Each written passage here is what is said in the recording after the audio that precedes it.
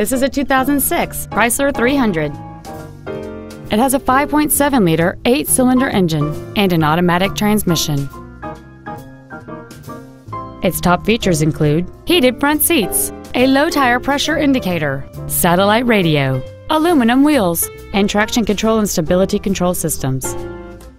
The following features are also included adjustable driver pedals, memory settings for the seat's positions so you can recall your favorite alignment with the push of one button, cruise control, a premium sound system, leather seats, an illuminated driver's side vanity mirror, an engine immobilizer theft deterrent system, brake assistance technology, air conditioning with automatic climate control, and the rain sensing windshield wipers can turn on automatically if their sensor identifies water on the windshield.